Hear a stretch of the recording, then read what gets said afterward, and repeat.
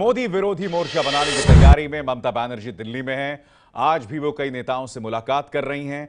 आज ममता बनर्जी दिल्ली के मुख्यमंत्री अरविंद केजरीवाल शाम को आ, मुलाकात करेंगे करीब छह बजे और उसके बाद सोनिया गांधी से जो कि यूपीए के चेयरपर्सन हैं उनसे मुलाकात करेंगी। कल भी ममता बनर्जी ने शिवसेना बीजेपी आरजेडी के नेताओं से मुलाकात की थी।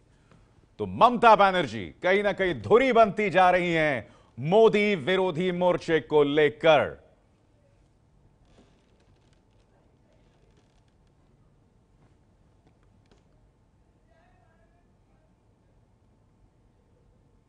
पश्चिम बंगाल की मुख्यमंत्री ममता बनर्जी 2019 के लोकसभा चुनाव में मोदी खिलाफ तीसरे मोर्चे की बनाने की तैयारियों में जुटी हैं। कल उन्होंने शिवसेना, एनसीपी सहित कई पार्टियों से मुलाकात की।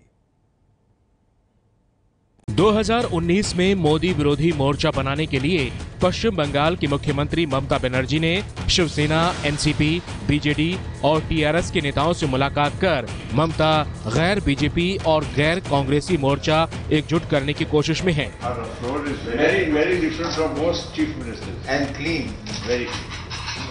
ये तस्वीरें देखिए।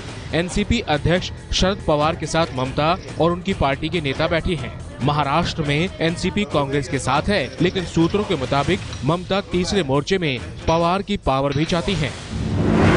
शरद पवार से मुलाकात से पहले ममता संसद परिसर में एनडीए में शामिल शिवसेना के नेताओं से मिली। साथ ही ममता ने नवीन पटनायक की बीजेडी और तेलंगाना की टीआरएस के नेताओं से भी मुलाकात की। ये मुलाकात क्या रंग लाएगी, ये समय बताएगा। फ़िलहाल इन दलों की लोकसभा में ताकत समझिए। 2014 में टीएमसी ने 34, बीजेडी ने 20, शिवसेना ने 18, एनसीपी ने 6 और टीआरएस ने 11 सीटें जीती थी यानी कुल मिलाकर नवासी सीटें होती हैं। देश में पहले भी तीसरा मोर्चा खड़ा करने की कोशिश हुई है लेकिन सफलता कम ही हाथ लगी।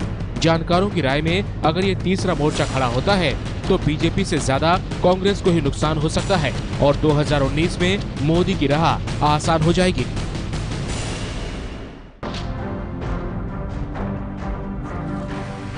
मैं पुण्य प्रसून वाजपेयी आ रहा हूँ। एबीपी न्यूज़ ये है एबीपी न्यूज़ आपको रखे आगे।